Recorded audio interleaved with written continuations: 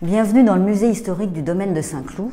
Euh, je suis ravie de vous accueillir dans ce lieu euh, qui est situé à la grille d'honneur du parc et qui présente euh, des œuvres qui permettent d'illustrer l'histoire du château disparu et de ses occupants.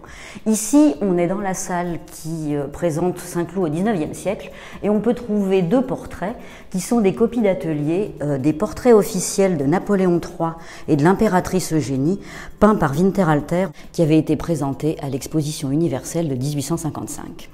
Les peintures originales se trouvaient au Palais des Tuileries et ont été détruites en 1871 pendant la Commune. Elles sont connues grâce aux centaines de copies réalisées à partir de ces modèles iconiques et diffusées ensuite dans les bâtiments publics ou offertes à des personnalités. La paire de tableaux de Saint-Cloud avait justement été donnée par l'empereur à l'un de ses officiels du régime, député de la Haute-Loire.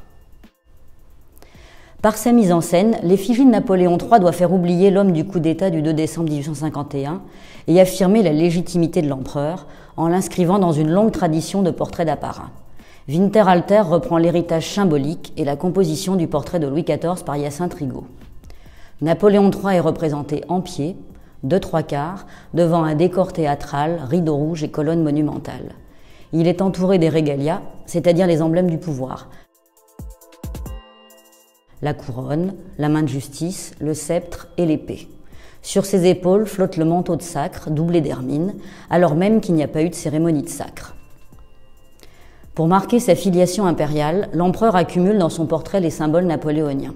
On voit ainsi le trône de son oncle Napoléon Ier à l'arrière-plan, les aigles impériales sur la couronne et le grand collier de la Légion d'honneur au chiffre de Napoléon, c'est-à-dire portant l'initiale N en son centre. L'empereur est vêtu de l'uniforme militaire de général de division, symbole de son autorité. La pose en uniforme est reprise du portrait de Louis-Philippe, peint également par Winterhalter en 1839. Comme Louis-Philippe, il est représenté devant une résidence royale, mais ce n'est plus Saint-Cloud qu'on a retenu, mais le palais des Tuileries. L'impératrice est représentée au château de Saint-Cloud. On voit au second plan la terrasse de l'orangerie avec son bassin et dans le lointain l'allée des statues. On retrouve les mêmes éléments que dans le portrait de l'empereur, le rideau, la colonne, la table portant la couronne et le trône. Elle porte l'insigne et le cordon de l'ordre de Marie-Louise, un ordre espagnol spécifiquement créé pour les femmes de la noblesse. Ces deux portraits sont les derniers avatars des euh, grands tableaux d'apparat qui seront ensuite abandonnés avec les portraits des présidents de la Troisième République.